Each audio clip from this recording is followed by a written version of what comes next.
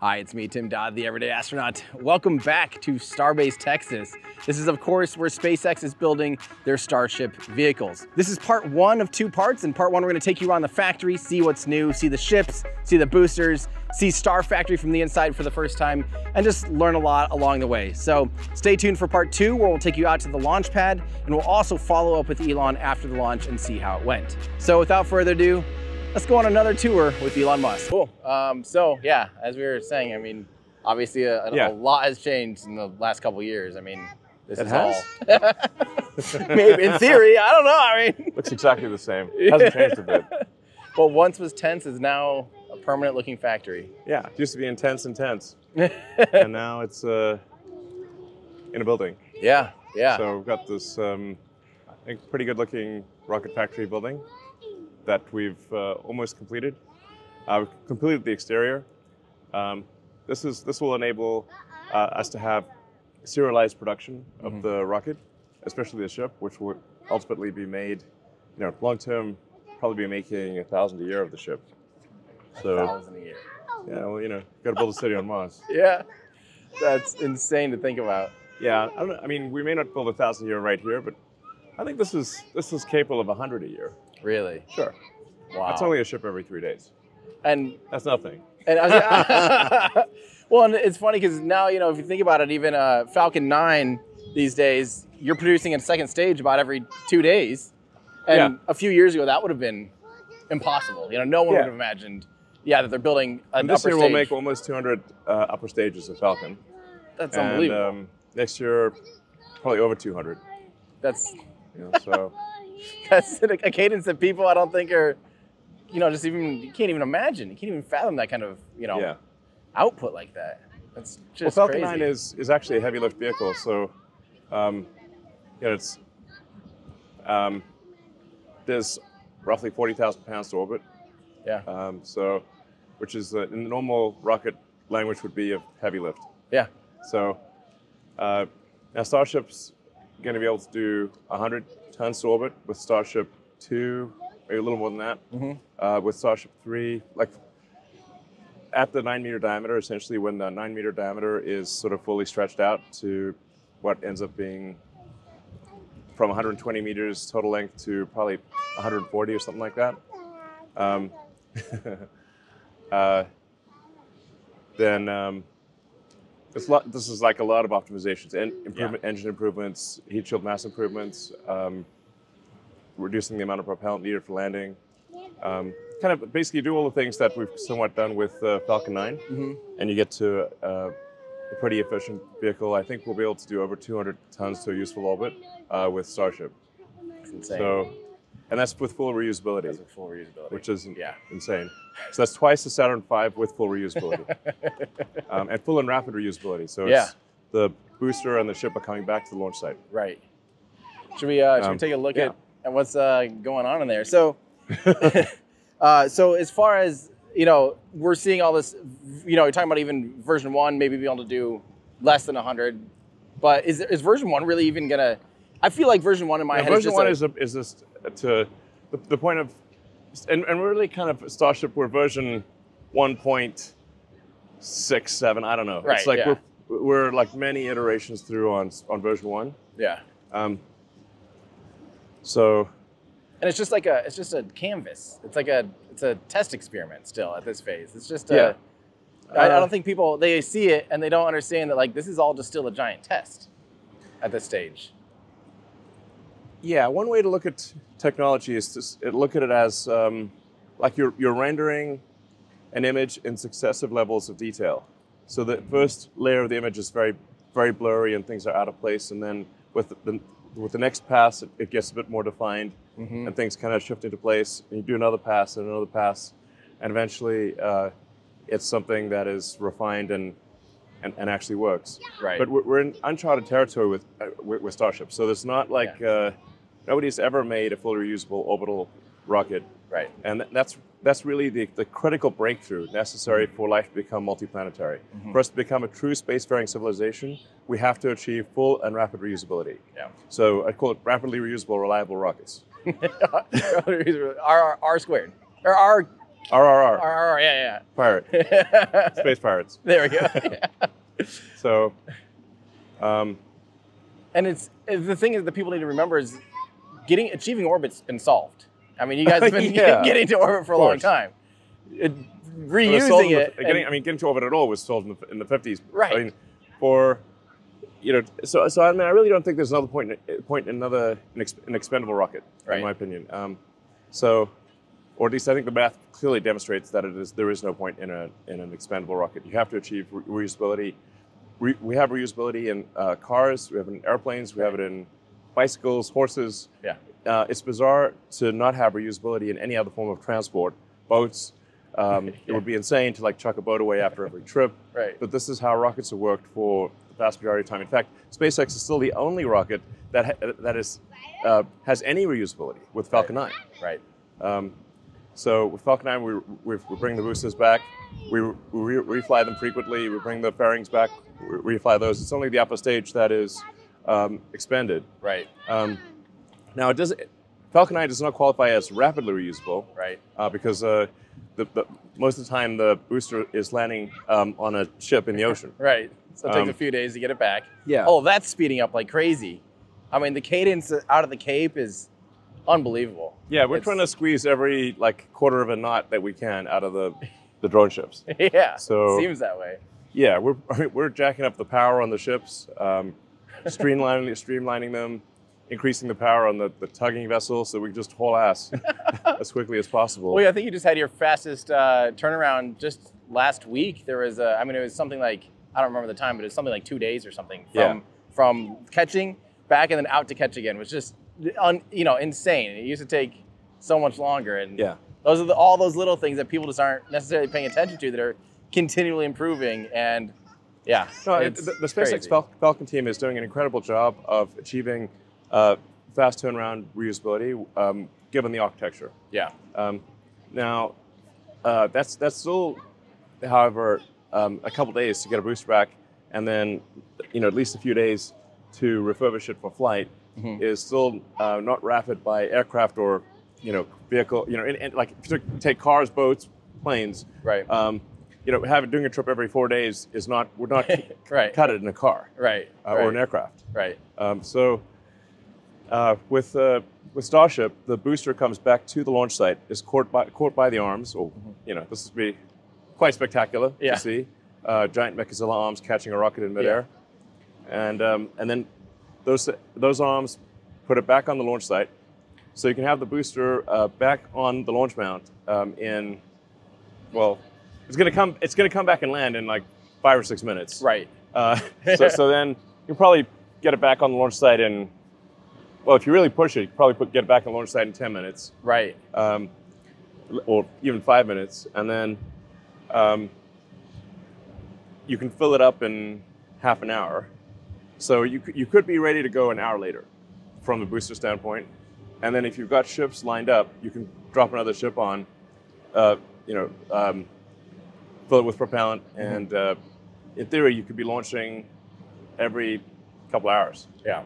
Um, It's hard to imagine now, but it was hard to imagine where Falcon 9 is today. You know, Yeah. 10 years ago, no one would have imagined what Falcon 9 is doing now. So I, I think uh, time will tell Yeah. that you know you can just keep chipping away at all those little improvements. And so, do you think you'll actually yeah, fly? Falcon 9 used to be have re- reusability measured in in months, then weeks, uh, then days, and then for but for Falcon 9, the arch- architecture is limited to you really can't compress it uh, down less than several days. Right. Um, when you take the landing out to sea and then the necessary refurbishment of the booster Yeah. that is required.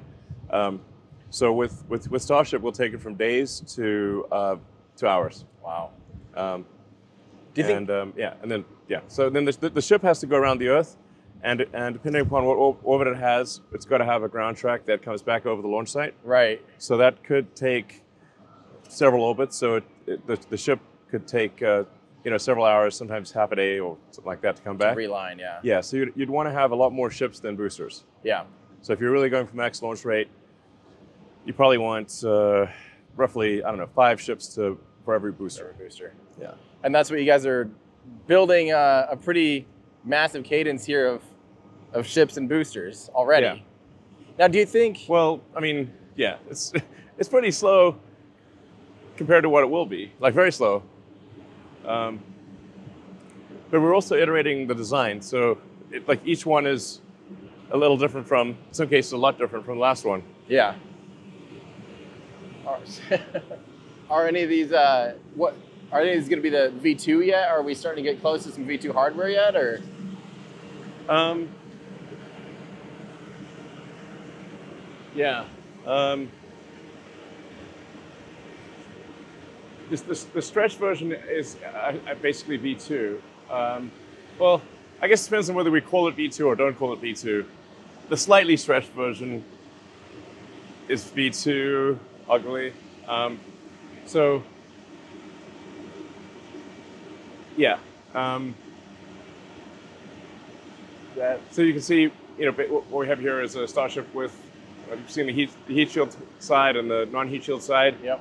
Um, it's got the uh, what we call the PEZ dispenser for um, tossing out the next generation Starlink satellites, the, the, V3 satellites. So those will be very wide diameter, like like sort of I don't know seven meter diameter sat- satellites. Yeah. So 20, you know 22 feet or something like that. Right. Um, so So are these actually going to be like? Are we hoping to see after? Let's say this test goes well tomorrow. Do you think the next one's actually going to go for orbit and start deploying test like testing out trying to deploy Starlink, or are we? Where do you think we're in in that whole mix? Like, is that maybe a few more down the road to start actually deploying payloads into orbit? we'll see how this mission goes. Um, I mean, this this year is not not about delivering satellites for Starship. It's all about ironing out the the, the design question marks. Mhm. So the, I mean, the major things that remain to be solved for Starship. Um, uh, the biggest, the, the, the single biggest one is uh, what does it take to um, get through the high heating of reentry? So you can see the, the heat shield that we have there. Um, we have some, uh, uns- well, let's say like uh, uns- unsolved questions Yeah. on the heat shield. Uh, A bunch of which we don't even know that they are questions, um, and, uh, and and some we're aware of because there have been challenges in the past, like with space shuttle.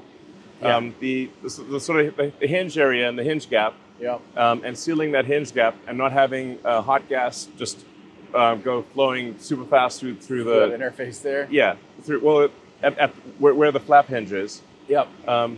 because if, if, if you get hot gas flowing through rapidly that, that'll cook anything Yeah. during the tiles so so you've, got- you've got a block we've got a, a hot gas seal um, at the the forward and rear flap hinge and um, so you know one of the key questions is does that seal work Right. uh, we think it'll work, but it may not work.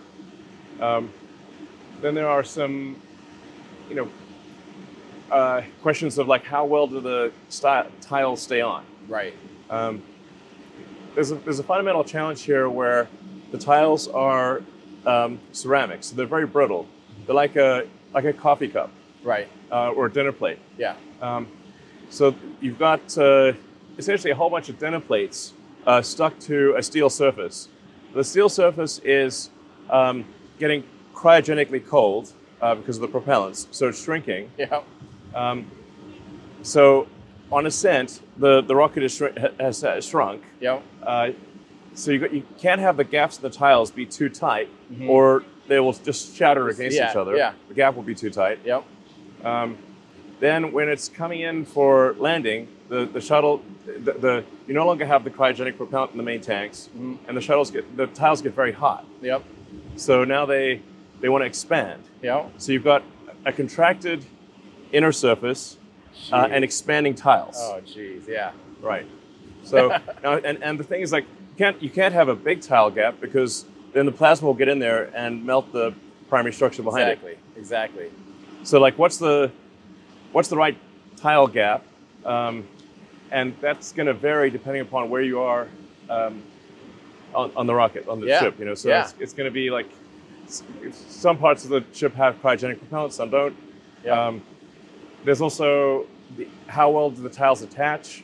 Uh, if we attach them and they uh, and we accidentally break one, but it's hard to see, then that that could be an issue. Right. Um, and we currently think we're we're probably not resilient uh, to failure of a to loss of a tile in um, the hot sections of the of the ship that are um, the the tank portion. So that the, the so if if um, The pressurized area. yeah, the pressurized areas, Yeah. exactly. So, and, and so technically, the, the nose will be pressurized too. So if the, if the pressurized areas um, lose a tile and then you melt that area, that'll cause it to pop. Right, right. So the ship will explode. yeah.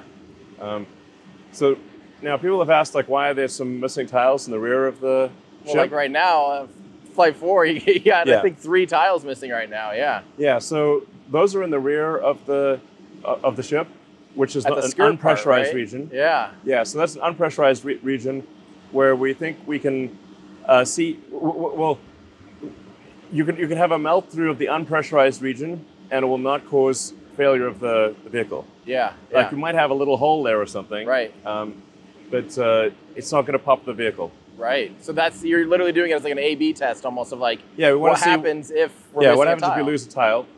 Um, Huh.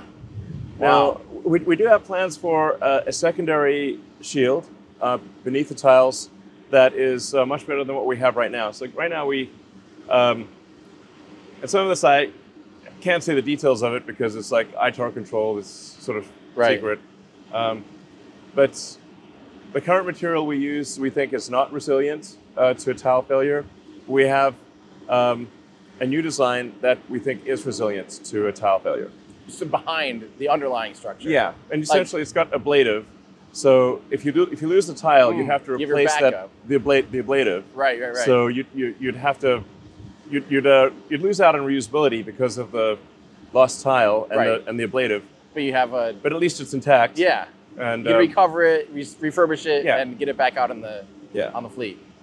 That's Uh, cool. and especially for carrying people, uh, which ultimately we you know expect Starship to carry it um, maybe 100 people at a time to Mars, uh, and also to the Moon. Yeah. then um, you know it's got to be super reliable. It's got to have um, no, no, ideally no single point of failure. Right. So, have you given up I, a long time ago? You're talking about transpirational cooling or active Yeah. regen and stuff. Did that just kind of didn't make the trade, or Um,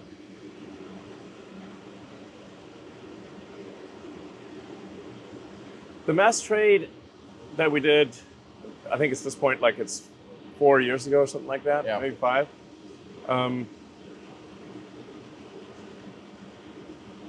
it's, it seemed like at that time it would be at least twice as heavy as a, um, a ceramic heat shield.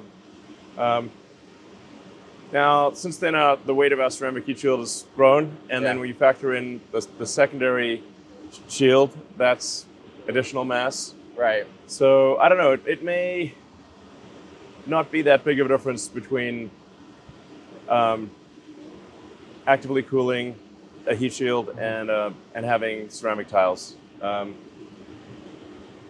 Have you seen what Yeah. what Stoke Space out in Washington is working on? Where they have a, it's of course a Aerospike's going to come out, come out of my mouth because for some reason Aerospike comes out every time I talk about anything. But it's a Aerospike, but the base plug is actually the active regen uh, heat shield, and so as it, and it's expander cycle. So as it comes back through the atmosphere, it's actually you know heat. They're using uh, hydrogen to uh, to actively regenerate you know and cool the heat shield.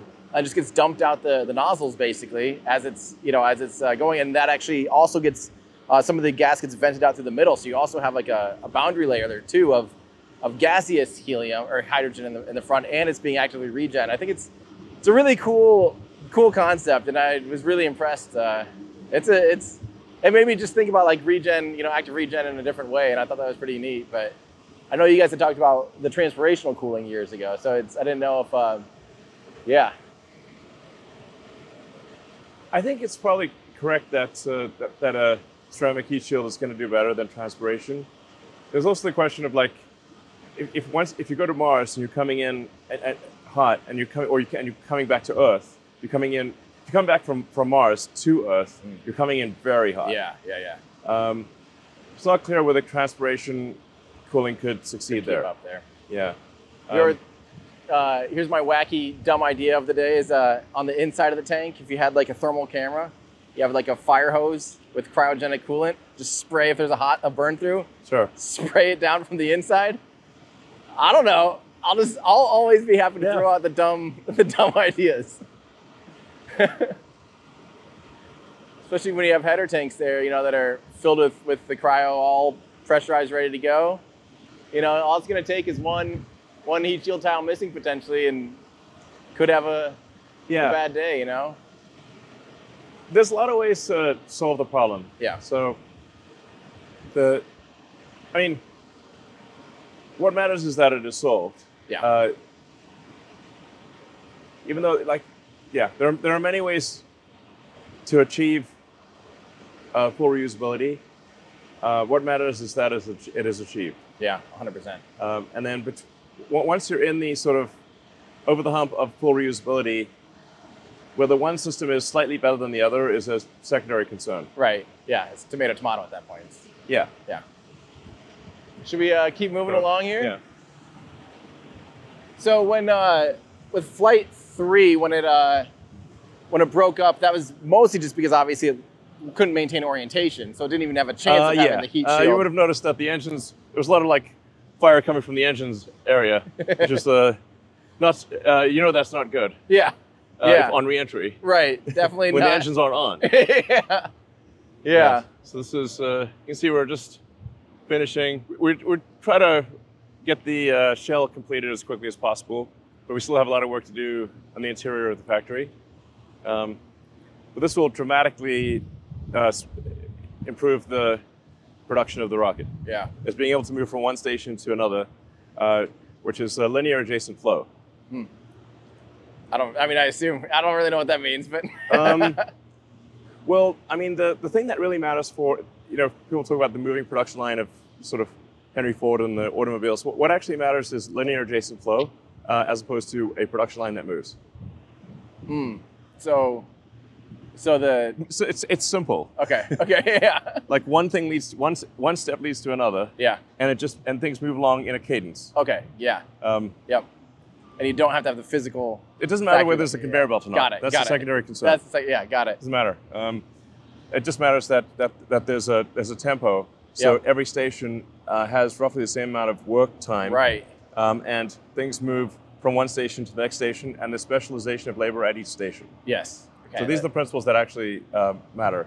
and that's what you guys kind of solve by doing the tents first, because you could just willy nilly rearrange things, see how things Yeah. are actually falling, see what order things were going in. But the tents were very inefficient once you know what you want to build. Yes. Yep. Yeah. So it was the your five step thing of uh, don't get too far along in the automation before you. Yeah, you don't know what you're going to build. Yep.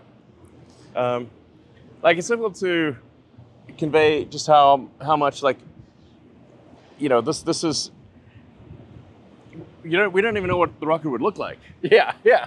So And in, in some senses, you still don't necessarily know. It's still changing. at this point we at this point we're confident of that this architecture will is, is at least one of the solutions. Yeah. Um, that's not to say there couldn't be other solutions like the one you talked about, um, but that th- this will work. Yeah. Um, it's just a question of ironing out the bugs um, improving the performance of everything from the engines to the avionics to the primary structure, the heat shield, everything. Yeah. Um, and um, that's, but it will work.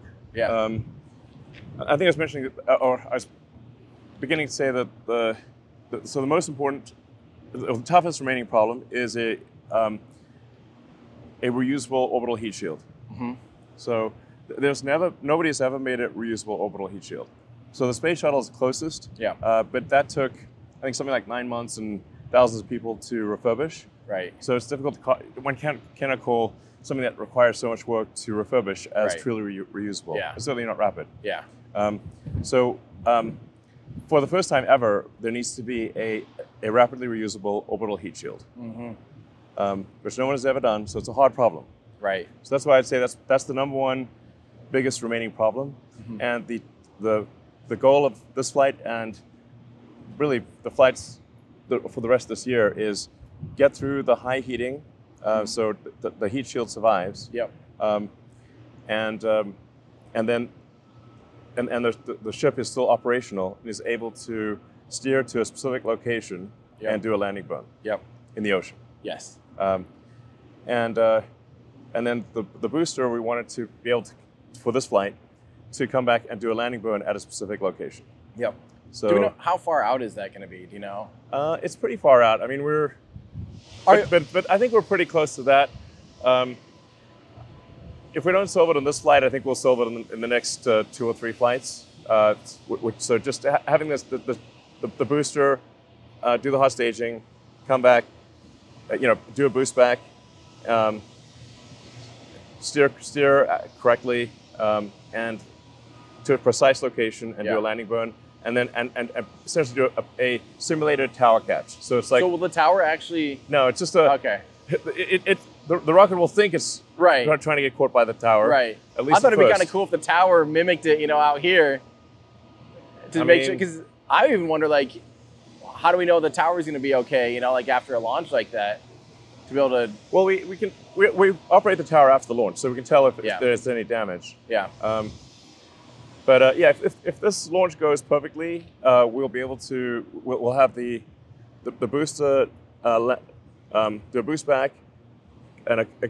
controlled uh, aero con- aero controlled descent to a specific location, Yep. uh, initiate a landing burn, and um, um, be caught by an imaginary tower. yep, yep. Uh, and then the ship, uh, if things go perfectly, uh, which probably won't, um, it'll get through high heating.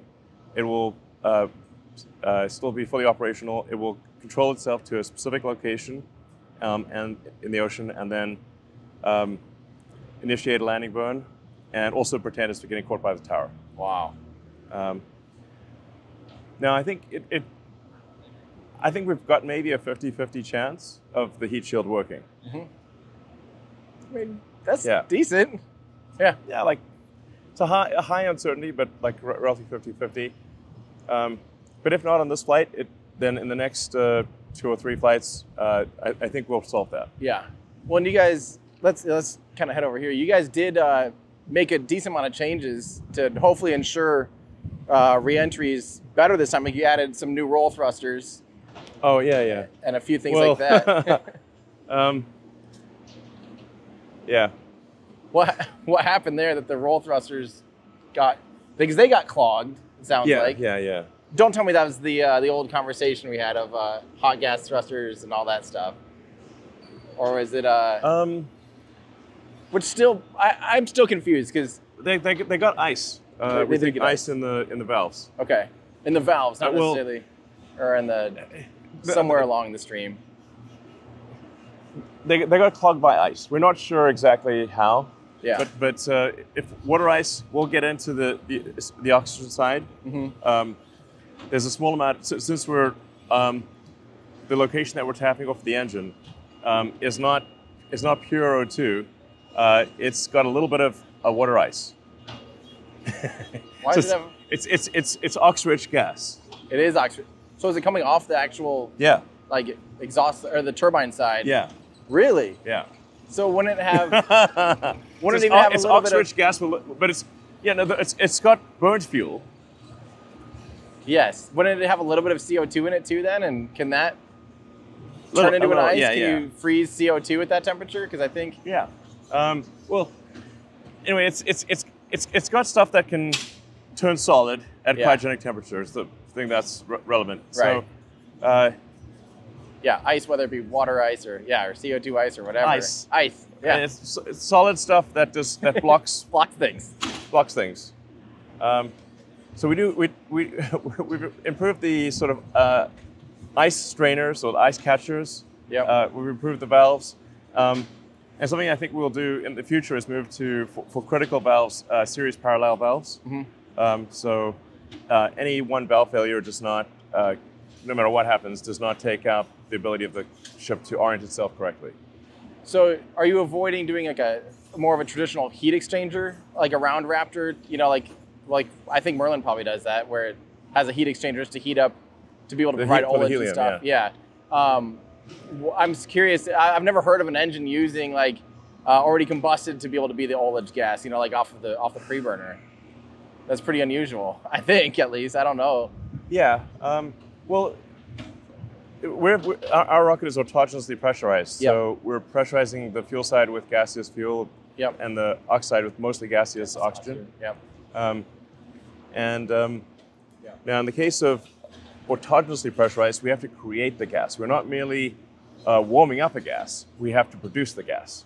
Oh, interesting. Is that how the shuttle did it too then? Because the shuttle ran on the RS-25s had autogenous pressurization. On the on the hydrogen side, yeah, I think that it, I, well, I guess I don't know if it's on both. was it on both? I don't know. I don't know. I think it was at least on on the hydrogen side. Um, so uh, maybe on both. Um,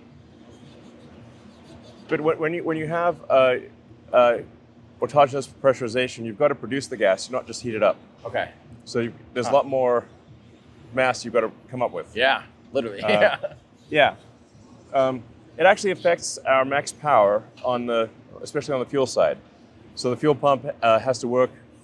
Well, both pumps have to work harder, but the fuel pump especially is a limiting factor. Like if we turned off uh, autogenous pressurization on the fuel side, we'd actually be able to get more power out of the fuel pump. Oh yeah, because you're having to drive all that. Yeah, that you've got to you've got to gasify. Yeah, you're you're you're you're bleeding mass flow Right. uh, from the, you know, From um, the engine. Yeah, from the engine. Yeah. Um, you're, and uh, yeah, I mean, there's, there's quite a lot of work in, in taking a cryogenic liquid and heating it up to be a hot gas. Right. Um, so you got a phase transition and, and, and that big temperature delta. Yep. So it's actually a, a lot of uh, work to produce the hot gas from a cryogenic liquid. That's crazy. So is that what also? Do, we can we kind of step in here and see the all Yeah. the boosters? This is crazy. Is that what also was the blockage of uh, the ox tank on the booster too? Then similar ice buildup blockage, or was it on flight three the Raptors were shutting down during boost back burn and had an ice buildup? Is it a similar thing to that? Sorry, it's hard to hear you. Yeah. Uh, is that what caused the, the booster to shut down on flight three with the ice ice buildup? Was it a similar type of thing, like an autogenous pressurization issue that clogged a few of the Um, engines? Yeah, we, we didn't have enough pressure to start the engines. Okay. So we were low, low pressure start. Um, the, the, the full answer is quite complicated, but uh, because arguably we could have started with, with lower pressure or we, we didn't need to start all the engines.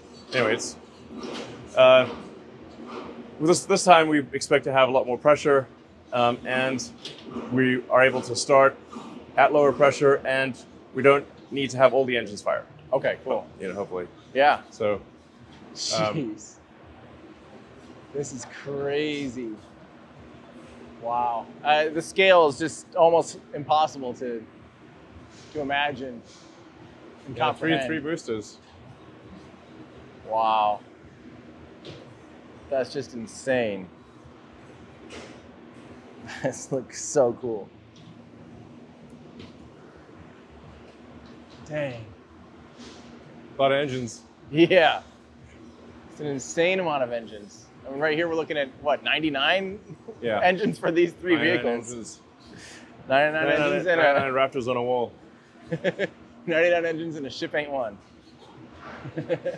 Yeah. That's absolutely insane. The scale of these things, it's just hard to hard to fathom. Wow. So um are you guys are trying to move down to three grid fins, is that right? From the from the four? Is that Uh, it's not a high priority. Uh, it's a it's a mass optimization to move. You, you definitely only need three, yeah. and I think technically you could do it with two, um, if you're willing to oscillate. Yeah. yeah, Like turn for yaw, then Yeah. roll again for pitch and Yeah, that's definitely you know you're uh, asking for a bit of trouble if you just have two grid fins, Right, um, but it is technically possible. right. Um, Uh, the three three for sure. Um, but that's that's like a that's a fairly minor uh, op- optimization. right. Uh, Um, with the, the the cowbell diverter things, you know, the the ullage gas thrusters or whatever. I need to clear something up for myself because I'm getting confused. So, cold gas thruster, we'd say like would be like um, a nitrogen thruster, where it's just literally compressed nitrogen goes out of Well, a cold nozzle. gas is room temperature gas usually. is room temp, and then are we would we consider that almost like a warm gas thruster? yeah, warm gas thruster. And then like a hot gas would be where it's a reaction, probably like a bi Yeah. a bipropellant thruster still. But for both the booster and the ship, you don't really need much uh, control. The attitude control uh, needed is, is small. Um, So you just can't have a leaky valve um, or, a stuck valve. Yeah. That seems. I. I. This is like, the Fal- third time. Falcon does, uh, is all cold gas. What is? Fal- Falcon Oh, is all cold right, gas, I yeah, and we've done I think six starts. Uh, so it's it's it's cold gas that has been maintaining propellant settling um, and attitude control for you know 12 hours. Right. Yeah. So And you have a lot of it on tap, so that's. I don't know why that's still a hard one for me to fathom. Uh, even though we've talked, this is the it's third got, time it's got now. a lot of hot gas. Yeah. warm gas. Um, especially when it's empty. It's it's all warm warm Yeah. gas. the, the delta, delta V needed is tiny, so Yeah. a very tiny thrusters are needed. Huh. Uh, so yeah. Um, So how much do you feel like after you fly? How much is it like? Oh God, we have to change all of these. Like, is it is it literally you find something on one and then you're literally like in immediately having to make changes on all these things, like everything that's in production. yeah. You're just So there's, there's hundreds of changes that actually take place, not a few. yeah. Hundreds. If you go to a detail level, there might be thousands of changes that Especially happen. when you get software involved, I'm sure it's uh, software for sure. I'm just taking talking hard, hardware. If you just look at the hardware changes um, across the ship and the, the booster and the engines, it's thousands of changes between each flight. but many of them are very small. But a very small change could be a big deal. Imagine how long it'd take a traditional aerospace company that had a, a rocket they're working on to make a thousand changes between flights and then fly it two months later. I mean, that's that's what we're doing here. This is Yeah. you're barely over two months from the last flight, and the vehicle's had a, over a thousand changes. Easily over a thousand, several thousand probably. Um, so. That's insane. like But I said, a bunch of them are little changes, but say Right. like, is it different in a way that could uh, have a, an effect on the rocket? Yeah, Yeah. So it's probably several thousand. and do you feel like for now, are you generally like kind of overbuilding them to just try to get through the point of being able to prove the heat shields, prove all the stuff, and then eventually you'll, you'll work on we're, mass? We're trying to answer the questions that I mentioned. The, the Yeah. biggest question being, um, can, what does it take to get through max heating Yep. uh, with a reusable heat shield? Um, then uh, being able to uh, have the booster come back and be caught by the, the tower, Yep. And have the, the ship also come back and be caught by the tower. Yeah. So those are the three very big things big that questions. need to happen. And that's in your mind when you're launching these, including like flight one, two, three. You're those are the questions. Like those flights are just That's to answer those for questions. full reusability. See, I think people just don't understand that that's you're not looking at trying to get out there and, and launch a satellite tomorrow. You're No. Trying the- to answer the payload, questions. The payload for all the flights this year is data, It's data.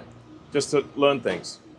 Um, so it's it's design refinement uh, to understand what actually what what works, what doesn't work. Yeah. Um, you know, some things sometimes work, which Right. can throw you off because it worked once but it doesn't work again because the combination of factors isn't the same. Yep. So, uh, so you want to have. So the, the, the, first things you'll find are like fundamental errors of design, where Mhm. success was not one of the possible outcomes. Yep. Um, then, in some cases, it's kind of like Russian roulette. Success is sometimes Right. possible, Yep. uh, but once in a while you you blow yourself up. yeah. Yeah. Um, so that, that's going to require a lot of flights to, to figure out like the those. the one in ten failure, the one in a hundred failure, that kind of thing. Um, there'll be a whole bunch of things like that. Well, kind of even like the SN stuff when eight was darn close to landing, nine was almost a reversion feeling, ten was better, eleven was worse. Like there's a little bit of a ping pong as things were Yeah. kind of being tried and tested, and you're still kind of in Yeah. that phase, even even at this scale. I just don't think people are used to that. You know?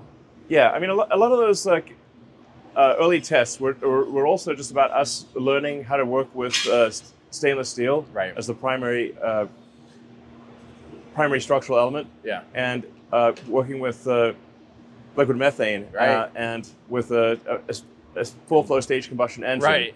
as the as the engine. So uh, a lot of what people saw was that the, the, the flight, you know, did it land or not land, but we're just trying to figure out how do we work with steel Right. and how do we uh, work with a methane as a fuel And a new engine uh, architecture and, and a totally new engine architecture. And new flaps, like things that are just yeah, and do the flaps. new and novel. Yeah, you have to actuate Yeah. the flaps. You need, you need very powerful actuators for the flaps because Yeah. there are a lot of force. It's like an airplane moving its wings. Right. Right. So these are very powerful actuators that are needed. Yeah, absolutely. Um, so, you know, and all of the, the, the like the, the engine to vehicle interactions are uh, very complicated. Yeah. So but you, you don't really see those on the test stand. When, you, when you're firing the engines on the test stand, you don't get the engine to vehicle interactions. And then you've got different uh, Right. engine to vehicle interactions in flight than you do on the ground. Yeah, oh, 100%. Especially Yeah. when you're changing orientation of a vehicle Yeah. and different G forces and Like zero they- G. I mean, all the things. There's no test stand that can test uh, a, a rocket at 17,000 miles an hour doing six Gs Right, uh, in you know every different orientation. right, exactly. It's not it's not possible. Yep, So you have to fly it. yeah, you, you do as much as you can on the ground, then you got to fly it. Um, try to figure things out in simulation, but a lot of things are not going to be included in the simulation. So it'll work in some, but not in reality. Exactly. It's crazy. Shall we uh, keep moving? Yeah, sure.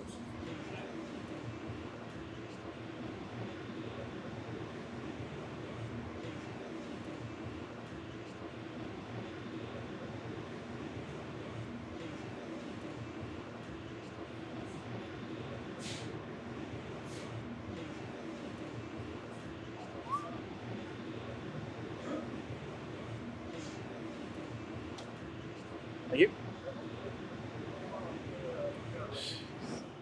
I don't like it. We, um, that, that'll wait, yes, sir. We're just about to de-rig from the crane, and then uh, we'll be able to cross the area. Jeez. Wow. Uh, yep. As you can see, the Raptor is a lot cleaner than it used to be. It looks like there's less stuff, but Yeah, As it is. Um, already. yeah. But these these are still not like the. We're not to V3 here yet, right? No. Uh, Is, is the V3 the same thing as like the leet engine? Is that are those? Uh, sort of. The, the leet engine was. I think we will do that at some point, but that's like a. That's really a total tear up. really? Yeah, yeah. uh, it, it looks like the leet engine, but it's way more expensive because it still has printed parts, uh, for example. Yeah. So, um, but the, yeah, the next gen Raptor engine needs no heat shield. Right. So, uh, and because it's exposed, it has to have cooling. So there's integral cooling circuits throughout the all the parts. So it looks very simple on the outside, but it's complicated on the inside. Like even all throughout the like the pre-burner and the yeah, gas manifolds and everything. It's It- it- all all that stuff you see stuck on the side disappears. wow. Uh, And that's actually you like that's being worked on now already. That's already yeah, we have a design. We have a design that that, that works. It, it, it, it looks like the engine isn't complete. well, yeah. You had that that that render on the that presentation. It just Yeah. looked like literally like a, a Looks first like it's attempt at missing mocking parts. up. Yeah. Yeah, but it's actually just the, the secondary circuits and integral cooling um, are part of each part. So, Wow. so if you have a secondary cooling circuit, you run the secondary cooling circuit or, or secondary flow circuit uh, through the various parts. Right. Um, and we also eliminate a whole bunch of um, bolted and welded joints. Uh, So, especially the bolted joints, you really want to get rid of those. Yeah. Yeah. You know, bolts and flanges and seals are hell, especially yeah. if they're hot. um, so yeah, the, the the next gen Raptor engine is actually a little difficult to service because there are uh, parts that are that don't have a flange anymore. It's just welded shut. Right. Right. Right. Yeah. So you're just hoping to be able to get the design up to be so reliable, hopefully that Yeah. you just don't need to If you service need to change a part, you need to literally cut it open. Wow. So you'll probably at this point you might as well just like swap out the whole engine, I assume, and just Ah, well, no, we cut it open. yeah. Yeah. we get it open. Um, so, Just there's, crazy. yeah. I mean, there's a massive, massive bolted flange for the hot gas manifold that's transferring hot gas from the fuel hot, hot gas from the fuel pump side. Yeah. You can see that. Um, it's, it's, well, it's hard to point at because it's up in the air, but the thing that joins the, the, the, the, the, The fuel yeah, the fuel. turbo pump to Yep. the ox turbo pump. Yeah, the kind of band looking thing. Yeah, right? the band looking thing. Uh, that that uh, that has a, a, mon- a monster flange at the top and bottom, and you want to get rid of those two. And that's to hold a lot of pressure. Hot, That's a whole lot of pressure. hot pressure. Yes. Jeez. I mean, you can see there's a lot of flanges here. I mean, this valve is like, oh, this this pump is like made of flanges. Wow. Flange, flange, flange, flange, flange. And are And like, I mean, these are beast beast level flanges. and these are all uh, there's so there is no like active cooling inside of two like this, or the current version of Raptor like this. There's no. Current version does not have. Um, there's there's no there's no well. There technically is some, but there's not. The current version of Raptor does not have sufficient cooling to be able to uh, resist um, being in the in hot gas plasma, like, like hot plasma. It's, yeah. it's not. Uh, yeah, it would That's melt. why you need. That's still why you need the, the shield here. Yeah, then. that's why Yeah. it's it's heavily shielded. Um, but next gen, a bunch of the flanges you see here will disappear, and it will have integral cooling and integral uh, secondary flow circuits. Yeah. Um, yeah. Do you guys look? Is it possible to do? There's a whole um, bunch of engines down there, pretty densely packed. it's, It's a lot of thrust. it's a lot of thrust. That is crazy. It looks like a, when you go to a Christmas tree store or something. Just, Yeah. That's insane. Uh, Each one of these is the most advanced rocket engine ever made. and they're just being cranked out like it's nothing. Yeah. Super high pressure, high efficiency. Is Full, you got a full flow st- stage combustion. all the goods. insane.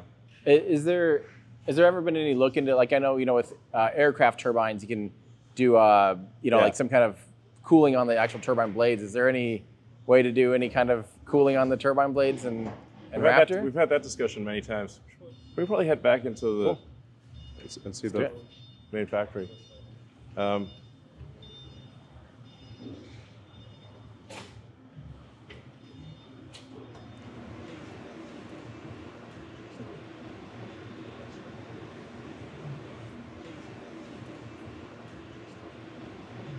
Jeez, I just can't believe how much has changed out here. You have two mega bays. I mean, last time I was out here, there's only one mega bay, and it, neither nothing had doors. Now you have doors. That's a pretty good creature comfort.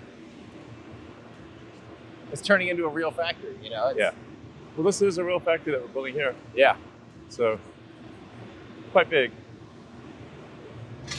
It's hard to keep up with everything out here. Yeah. So this is a. We'll finally have a real factory for Starship. Not just making it in tents. Um, yeah. So long term, we want to try to get the thrust of Raptor up to uh, around 330, maybe a little higher, maybe 335 uh, metric tons. So that'll take us to a 10,000 ton thrust at liftoff. That's Um, absolutely absurd. Sorry? That's absurd. Yeah, yeah. It's Like so beyond absurd. That's coming up on three times the amount of power as the Saturn V. That's yeah. That'd be roughly three times the Saturn V. Um, yeah.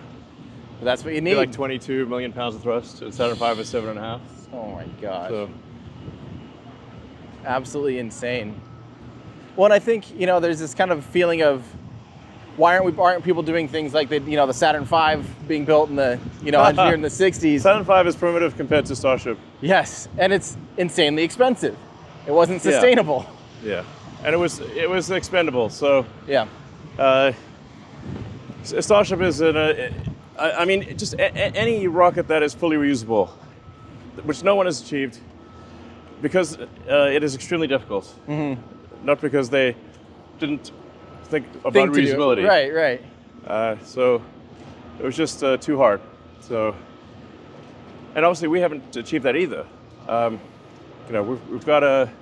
I'm hopeful that we will achieve achieve it by next year. Mhm. Uh, so, but at least at least we have a situation where we have a design where success is one of the possible outcomes. Yeah. So, no, no prior design uh, was success one of the possible outcomes for full reusability. Well, if you think about it, let's say you guys, for some reason, just were like, okay, screw it. We have to launch 300 metric tons to orbit. You could absolutely, you could you could expend a rocket if you like absolutely had to for some reason. Yeah, but it'd be pointless. It would be pointless. But Uh, like you have that capability. Like for the first time, Oh, since yeah, the Saturn yeah. V. You, Well, I mean, generally, if, if you can do 200 tons uh, reusable, you can do double that um, expendable. right, 400 tons, Yeah, yeah, which is insane. yeah. I mean, even to the point of if you had to do, let's say you had to do, you know, HLS or something to try to speed it up or something, to, you know, if orbital refueling's not done or something. No, orbital refueling. I mean, I don't want to count chickens before they hatch, but or- orbital refueling is really just docking with ourselves. Yeah. We dock with the space station all the time. Right. A space station is way harder to dock with than ourselves. And but will it be all docking up to a um, to like a depot? Is that kind of the plan? Is there to be an orbital? It depends on how quickly you want to launch. So if, if you're going to the moon, um, I don't know. I don't think you need a de- uh, depot. I think you just send a ship up and send tankers immediately, Yeah. and your boil off rate will not be too bad. Okay. Um, so you, now for the moon, you'd want to have a dedicated uh, Earth orbit to moon system Mm-hmm. because you don't need a heat shield. Right. Uh, well, I mean a heat shield to brake, I suppose. Um, well, pro- probably actually, yeah. The, the moon's like hotter than it seems because it doesn't have an atmosphere. Right. Um, so you can't use the atmosphere to brake. So But if you have time, I, you can. I guess you probably have. but Anyway, it's like Yeah. Yeah. Uh, for landing on the moon, obviously you don't need flaps, don't need a heat shield, uh, and you need very little thrust. Right. Uh, but you do need uh, pretty big uh, landing legs. Uh, Right. So in case you one leg lands on a boulder and one lands on a crater, uh, and you don't want to tip over. Right. So Um,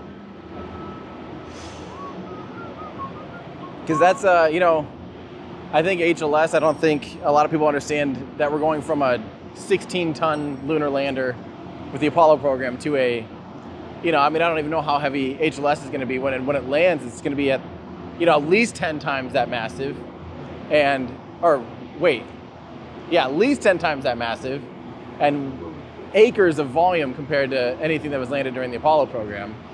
And I just think that people aren't necessarily ready for how how big Starship will be on the moon. It's basically a habitat when it's on the moon, you know? It's not just a little tiny tent like the Apollo lunar Yeah. landers. uh, yeah. I mean, I think the, the next step is to go beyond Apollo and have a permanently occupied base on the moon. Yeah. like Moon Base Alpha. That's the next step. So you don't want to just have a few people there for a few hours. You want to have a permanently occupied base. Right. This factory is huge. Yeah. and I guarantee if we came back in a year, it'd be just up and running like a normal factory already. I mean, it'll be this will be filled with equipment in three months. Jeez. So is there a decent amount of like new stuff that's like is there hardware coming in here and tools that are coming in here that'll unlock like Yeah. just mostly production rate or even like new ideas or or what's that kind of like? I mean, you can build any given design in an artisanal way, uh, slowly, with uh, you know by having a lot a lot of crews come to the same station. But in order to have real production, you've got to move from one station to another, where you have the same amount of work at each station. Right. So this is meant to have a lot of stations. so you'll see a lot of work in progress, Yeah. you'll be able to see very clearly, you guys, uh, wh- where the where the blockages are. And make changes to it then. Yeah. Jeez. It's so funny to think about how, you know, we were only five years ago out here when uh, the Mark One and all you had was a tent and Stargate was the biggest thing out here, that little Stargate thing. Yeah. And now you, I almost missed it trying to pull into Stargate today because, Yeah, it looks like a little hut. yeah, it's like dwarfed by absolutely everything else out here already. Yeah. It's just crazy. Oh, that feels nice. Air conditioning. Holy crap. It just keeps going. Yeah. I thought that was the main thing. Yeah. Jeez. So there was more behind that wall. Yeah. Holy crap. So this is more of a, a real factory here. This is what the other yeah, side will look like. The other side will look like this. You know, there we're we're obviously just checking each tile to make sure it's uh, not cracked and it's well seated. How are you feeling about the, the way they're actually secured on there, like the, the mounting point? Is that Uh, we're decent? continuing to iterate on the mounting point. I I, mean, it's it has a you know, 99% of the time it works well. So it's just a question of figuring out what are the 1% that uh, have issues where it causes, causes a tile to crack or some Yeah. other problem. I always keep thinking the, the one of the big challenges is that you can't access the you can only access it you can't access it from either side really. Like there's not a bolt you can screw on because you have It's a snap-on. it's a, it has to be a snap-on. Yeah. Have you ever seen the like furniture mountings where like you have two pieces of wood joined together and then you spin a magnet on one end Oh, and yeah. it spins the nut on? I've always wondered like if something like that could be I mean, this applied. is basically, it snaps on, and you pretty much have to break the tile to pull it off. really. Yeah. Uh, That's meant to go on and stay on. Yeah. Well, and we still see like even on the the parts that aren't tapered up, you know, like on the main body, we still see some some horizontal seams. What's the uh, what's the deal with those seams? I know that was like pretty bad. Uh, no, they, they don't really matter that much. Um, they're just different sections of the nose cone. So, uh, now, this is somewhat of a debate. You could wait until the whole nose cone is made, and then uh, and then put the attachment points on at that point. Mhm. So currently, we put the tile attachment points on in sections. okay. So that's why you've got um, a line. The horizontal line. Okay. Yeah. It's probably just a lot harder to once it's all manufactured. It's just so massive. It'd be hard to put all the attachment points on. Is that kind of the problem? There, are- there's more than one way to skin a cat. this is just a cat getting skinned. Yeah. Yeah. Yeah, it's not. It's not to say that, that there is um, not a better way to do it. Yeah. Uh, there are. The first order of business is to get one way at all that works. Yep. Um, thereafter, to optimize. Yep.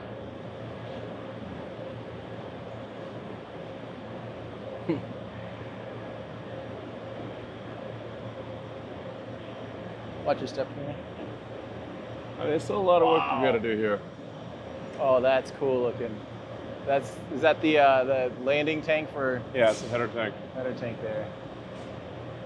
That's insane. Jeez. And then are those COPVs propped up against it like that? Then is that what those? Yeah, Jeez. got to pressurize the header tank with something, and the engine's on on. Exactly. Wow.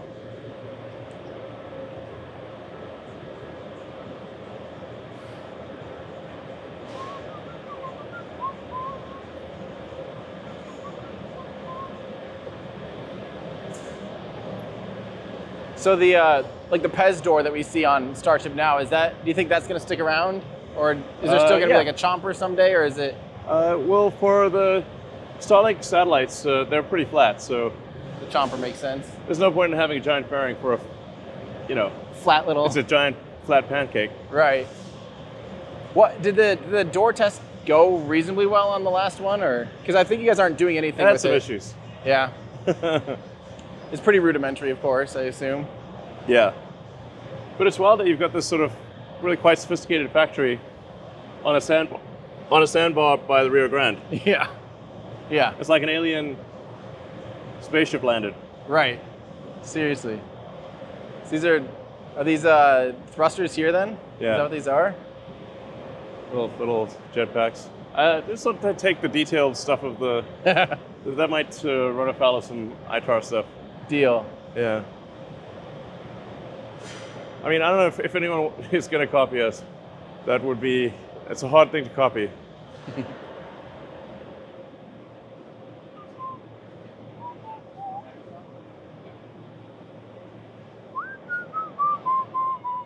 It's come a long way since three tons. Yeah, it sure has. I mean, everything's clean in this. There's no mud and dust. It's better when it has doors on it. Yeah. I mean, everything used to have mud and dust Yes. and birds and things. There's always some finite mud and dust, but it's much smaller than. It's a long ways from I mean- Part one on yeah. Yeah. I mean, the Mark 1 thing, it looked like the junkyard in Tatooine. Which was charming. Yeah. There was a lot of dust and mud. Side Yeah. The far, the far side rocket. I mean, the Mark 1 was conceptual as a concept piece. Yeah. Concept, I'd say con- concept art. Yeah. part of the journey. Absolutely. yeah. So James pointed out that the, this actually wraps all the way around. The like the, Yeah. all of that still back Yeah. there. There's more to it. yeah. That's, That's the, that's the dome line. Jeez. Yeah, That's the dome line? Dome line. And the coils, that's the starter lines over there. That's crazy. Yeah, so we do have an existing factory that's wrapped around the one you just saw. Uh, So then that's, that's where we make the, the, the ship and the booster. So then that will open up and you'll start Yeah. serpentining it basically through there. Yeah, that, that we'll take down that wall there. That is, um, once we have the doors on Mhm. the other side, uh, we'll take down that wall, and then you'll just have factory. We'll just kind of go as far as the eye can see. It's so much bigger than I thought. From the road, it, I mean, it looks big from the road, but it's insane. It's And then ridiculous. obviously the, the, the sections get gradually bigger as the, as you go south. Right. So that's why things start off sort of short and then get taller as you go along. even yeah, even the roof line does that, Yeah. right? It's That's- to get bigger if the pieces get bigger. That's absolutely crazy. Are you guys still using like? I remember, you know, back in the day, there's a lot of like Tesla motors being used. Actually, you said that we way. out that way. Okay. So Um, there's a lot of Tesla motors being used, like you know, to, for the fins and all that kind of stuff, and uh, maybe even the grid fins had like literally a Model S motor or something. Are you Uh, still kind of using some Tesla parts like that? yeah, we just use the Tesla uh, drive units uh, to actuate the grid fins. And and the big flaps still too, the on ship. Um, yes. Uh, sorry. Uh, to, yes. Uh, essentially, sorry. I was thinking about something else. Mm-hmm. um, yeah. The, the, the, hey. um, the uh, yeah. We use uh, we, we- we're trying not to use hydraulics. Try, it's all electric actuation. Yeah. So the engine's also gimbaled electrically. Yep. So you're really moving away from hydraulics wherever possible, Uh, really. Yeah, there's almost, I think there's actually no hydraulics in the vehicle. Uh, if there's hydraulics, it's some very tiny little part. Huh. But I think there's none. That's wild. Actually, I can't even think Yeah. of another. There's pneumatics. Right. A lot for all the valves and everything, obviously. Yeah. That's crazy. Jeez. It's surreal compared to what it was Yeah. it was just a little bit ago. Wow. it just keeps going and going. That is crazy. Yeah. From one little tent. Yeah.